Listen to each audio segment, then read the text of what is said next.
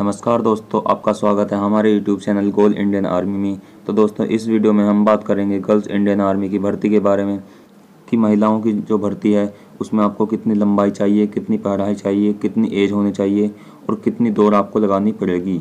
हम आपको 2020-21 का शेड्यूल बताने वाले हैं।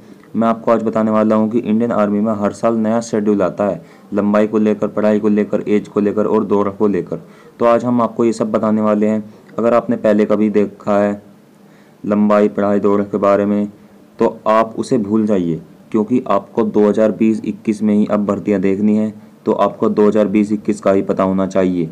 दोस्तों, इंडियन आर्मी में हर साल नया रूल आता है, नया शेड्यूल आता है तो आपको वीडियो पूरी देखनी है। अगर आपको भर्तियों के बारे में जानकारी चाहिए, महिलाओं की भर्तियों के बारे में जानकारी चाहिए तो हम आपको 100 प्रतिशत गारंटी देते हैं कि जब भी भर्ती आएगी, हम आपको अपने चैनल पर बता देंगे। वीडियो के माध्यम से हम आपको जानकारी दे देंगे।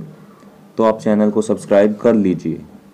तो चलो दोस्तों, वीडियो को शुरू कर लेते हैं। सबसे पहले आपको दौड़ के बारे में बता देते हैं कि आपको कितनी दौड़ लगानी होगी भर्ती में।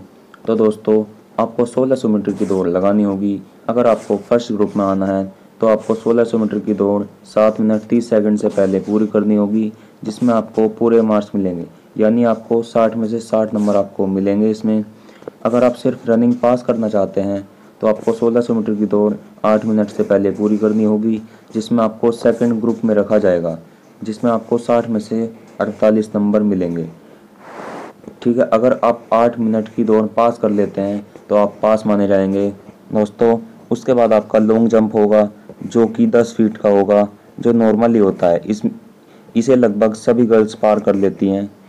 इसके बाद हाई जंप यानी ऊँची कूद होती है। जो तीन फीट की होगी, ये सभी नॉर्मल है, इसे सभी पार कर लेते हैं। इसके बाद बात कर लेते हैं कि आपकी एज कितनी होनी चाहिए। दोस्तों, इसमें आपकी उम्र साढ़े सत्रह से इक्कीस वर्ष के बीच होनी चाहिए, ये सिर्फ़ जीडी के लिए है। अगर आप क्लर्क और टेक्निकल के बारे में जानना चाहते हैं तो हम आपको नेक्स्ट वीडियो प्रोवाइड करा देंगे। इसके बाद एजुकेशन क्वालिफिकेशन के बारे में जान लेते हैं। तो जीडी के लिए आपको दसवीं पास होना चाहिए 45 प्रतिशत अंकों के साथ। और हर विषय में आपको 33-33 प्रतिशत से ज़्यादा नंबर होने चाहिए आपके। दोस्तों, अब बात कर लेते हैं हाइट की, कि इसमें आपकी जो हाइट है, वो कितनी होनी चाहिए। दोस्तों, इसमें जो आपकी हाइट है, वो 142 सेंटीमीटर होनी चाहिए और आपका जो वेट है, वो आपकी लंबाई के अनुसार ही होना चाहिए। लगभग आपका 50 किलो वेट होना चाहिए। दोस्तों, इस वीडियो में मैंने आपको एज, हाइट, रनिंग और क्वालिफिकेशन के बारे में बता दिया है। जब भी आपकी भर्ती आएगी, हम आपको वीडियो के माध्यम से बता देंगे। इसलिए आप हमारे चैनल को सब्सक्राइब कर लीजिए। धन्यवाद। जय हिंद।